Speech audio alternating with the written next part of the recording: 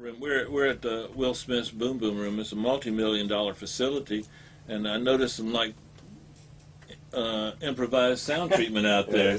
Yeah, yeah. Well, in, in this room, because uh, you know a lot of people tend to like the mic facing the you know the booth they want to see, and this is what they want to record. Mhm. So of course you know it's what they want, but you still have to be able to get the best sound. So when I walked in the room, I was hearing something like I don't have an effect on the vocal, but I'm hearing effect coming through.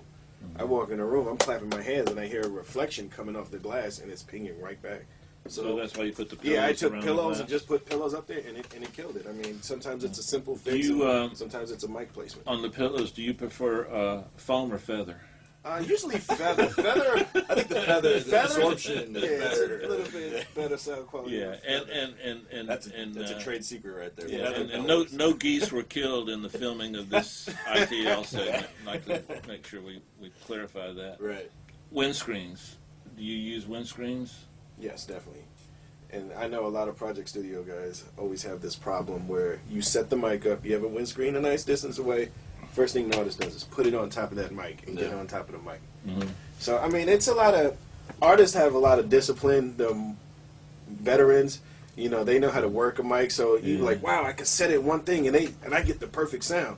Yeah, because they're working the mic. But yeah, Yeah. you have to work with a lot of How of. do you guys deal with an artist that's like jumping around and dancing and moving around? You just like I mean- duct tape them to the microphone. But I mean, after a while, they get it. I'm like, listen, when they come in the room and they hear what it sounds like, I'm like, listen, if you're not in front of the mic, you know, I can change the pattern on the mic, but I'm changing my sound too. Do you mentioned that that the only EQing you do is basically roll off a little bottom end. What's your EQ of choice for that?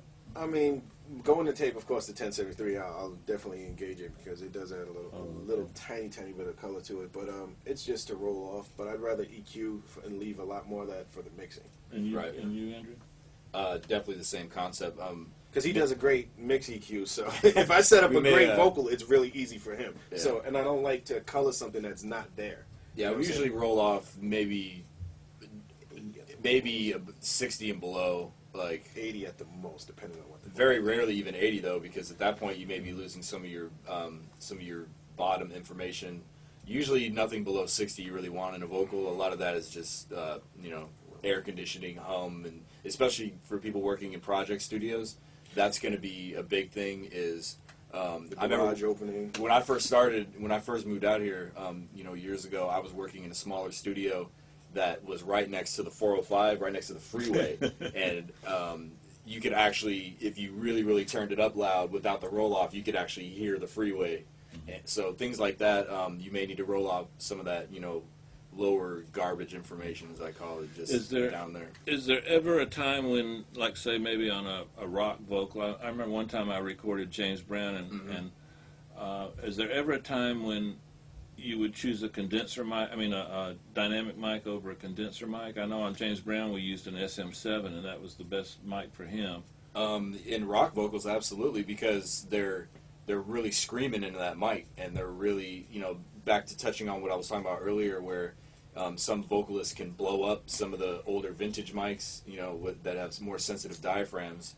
Um, so, you know, a dynamic mic would be perfect for that. Um, you know, we cut a lot of scratch vocals with dynamic mics, uh, just because people can really scream and really get the idea out and really feel what they're singing without having to worry about oh did I blow up the mic is it distorted like um, and it's something with a rock vocal where you don't need as much of a round kind of uh, you know fat sound. It can be because you know in the end it's going to be really compressed it's going to be really up in your face and it's all about that energy and that you know the, them just letting it all out into that mic. So a dynamic mic would be great for something like that Is there ever a time where you guys would use two microphones on a vocal, one close, one farther away? I've done it before just to get different tones. Just we've done it with like Celine Dion's done it. Um, there's several artists. I've done it with Mariah before. Just to with she- Katie with Katie, Katie, we, we've, we've done it. we too. did we set up three or four microphones for auditioning purposes yeah to see which like um,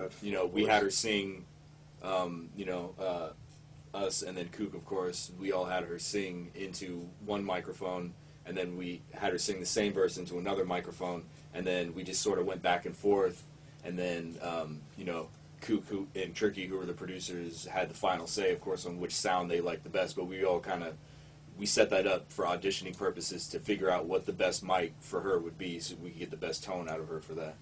Well, guys, uh, I've learned myself. I've learned a lot today talking with you guys. This it's really been great. And uh, um, what can we look for in the future that you guys have done? I think we, we can look for a new Beyonce. New Beyonce. Um, we're starting with Leona Lewis, um, so we're, we're going to be working on some records with her.